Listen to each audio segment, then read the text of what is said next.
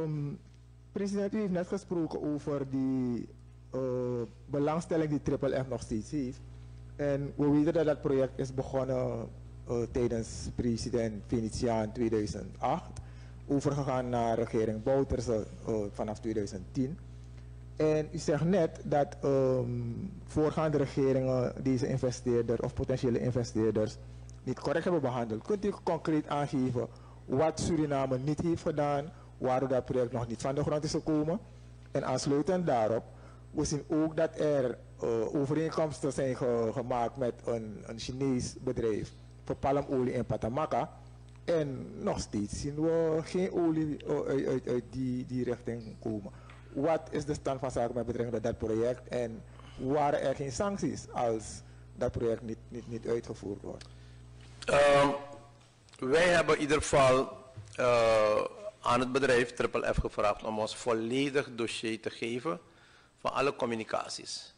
En uh, van alle fasen van hun betrokkenheid in Suriname, vanaf de initiële fase tot en met de laatste fase toen zij zeg maar uh, terugtrokken uit Suriname.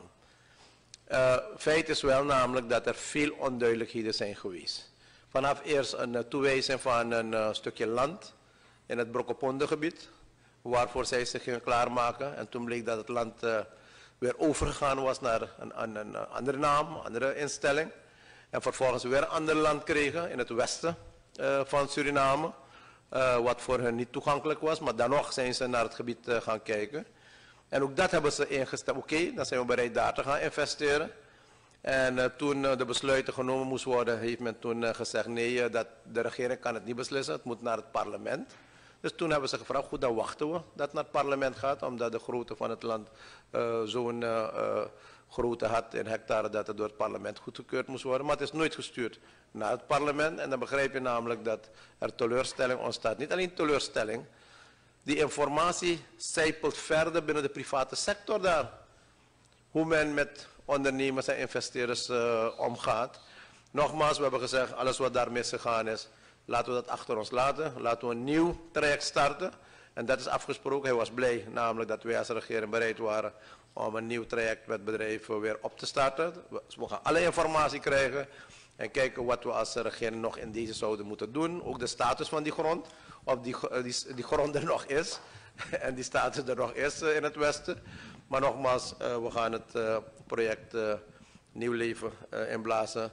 Maar ja, het is inderdaad als, als je die presentatie krijgt van het bedrijf en je ziet inmiddels in hoeveel landen ze al hun uh, palmolieproject hebben.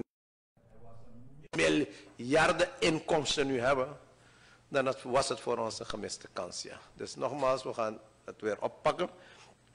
Dat traject van um, uh, het Chinees bedrijf uh, China Zhong Tai, daar hebben we binnen de regering besproken. En het is gebleken namelijk dat er geen investering meer plaatsvindt. Dat uh, ook uh, gehandeld is in strijd met de concessievoorwaarden. Maar aangezien dit project goedgekeurd was in de Nationale Assemblée, heeft de regering beslist dat het ministerie van LVV samen met het ministerie van GWB een, een steeringcommittee samenstelt en alles voorbereidt, inhoudelijk, juridisch, technisch. En dat we dit allemaal gaan sturen naar de Nationale Assemblée om die verleende concessie dan weer uh, in te trekken.